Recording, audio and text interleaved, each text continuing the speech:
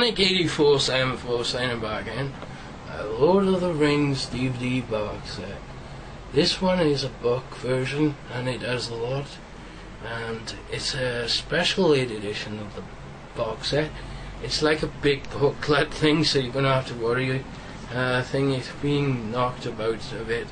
This one was thirty four ninety nine. Five pound off this, so it's not bad.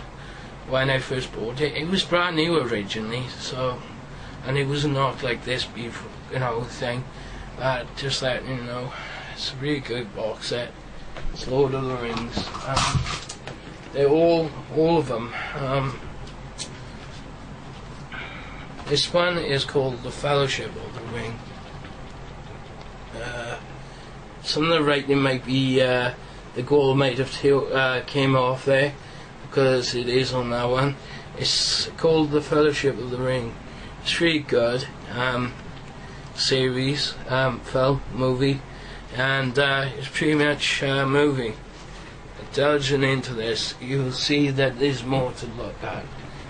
Um, that isn't much to look at.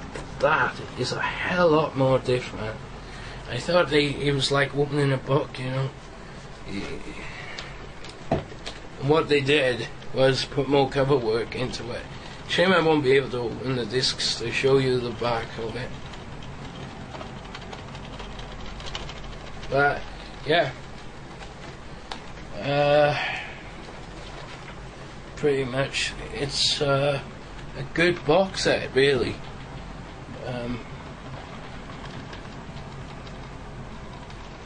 I know the casing is a bit wonky, but yeah, pretty much. There's a booklet, there's a map, there's a map on here. Lord of the Rings, Fellowship of the Ring. This one's called The Fellowship of the Ring. Um, but yeah, and this one is called The Two Towers. Uh, is it The Two Towers was the second? Yeah. Which is The Return of the King was the final chapter to the, se- to the series of the movie. This one's called The Two Towers. Really, I thought this was really good what they done with the with the film.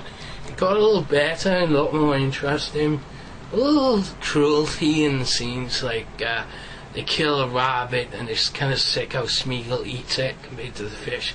And the fish thing wasn't really sick. I thought it was the uh, rabbit, to be honest, how he killed it. Um, but it was good film.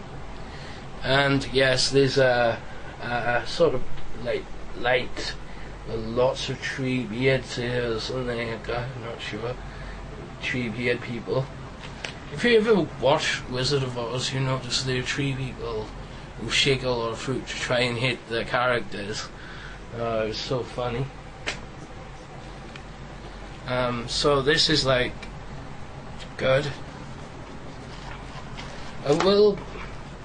I will be saying this. I would love to see him make a Hobbit movie, and uh, yeah, this is the case in.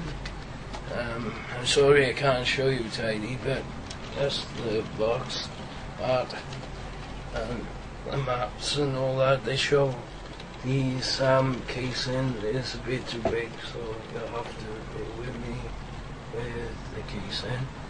Um, but yeah, there's like uh, a load of maps. Like it's like Mystic Power Ranger Mystic Force, so sort of based it on sort of thing.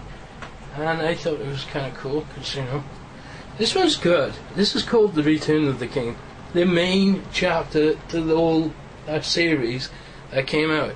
This one has a tree in the background. I thought it was pretty awesome. Uh, something smudged on it. Oh, don't worry about it. It's probably some dirt or something. Cake I expect, or something. Um, anyway, this this load of rings. Really hope they make uh, another film because I heard that they're making the Hobbit film and they were having trouble releasing it or something like that. I'm not sure why. Because they was comparing it and saying should this be made in the same places but they did Lord of the Rings. So people are complaining. Uh, Oh, and there's a map.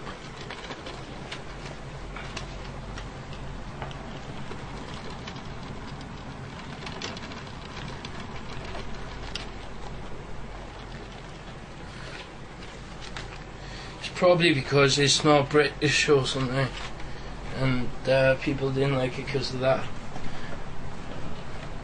What can I say? Is Lord of the Rings worth getting? Yeah.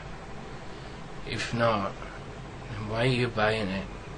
Don't advocate that show because really, you know, it's not worth recreating. It's more for grown-ups and adults, but it's not much for kids. If you want a film that's more for kids, get Harry Potter. And, uh, yeah. I thought Harry Potter was good, you know, but, you know, it had some sad moments and in there. Bit, bit boring, a bit upsetting for my liking, but you never know, it might change. It might be better than before, so, you know. So, sayonara for now. Cheers, gracias.